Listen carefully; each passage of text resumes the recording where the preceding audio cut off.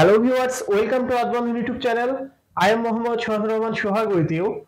Now I am showing you how to make two-way switch control in three-phase motor wiring diagram.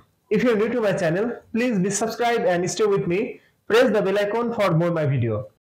TPMCB Switch 1 and switch 2 Magnetic contactor 1 Magnetic contactor 2 Single phase motor 1 Single phase motor 2 R phase connection to triple pole MCB R phase connection outgoing from MCB to magnetic contactor 1 and 2 Phase connection from contactor 1 to single phase motor 1 Phase connection from contactor 2 to single phase motor 2 Y phase connection to MCB.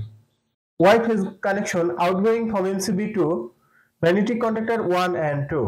Y phase connection to motor 1. Y phase connection from magnetic contactor 2 to motor 2. B phase connection to MCB.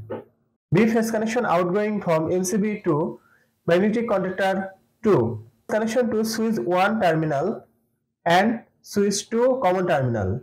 B phase connection from switch 2 L1 to magnetic contactor coil connection.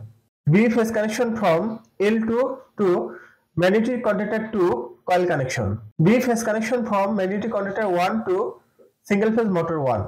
B phase connection from magnetic contactor 2 to single phase motor 2. Neutral connection to magnetic contactor coil connection.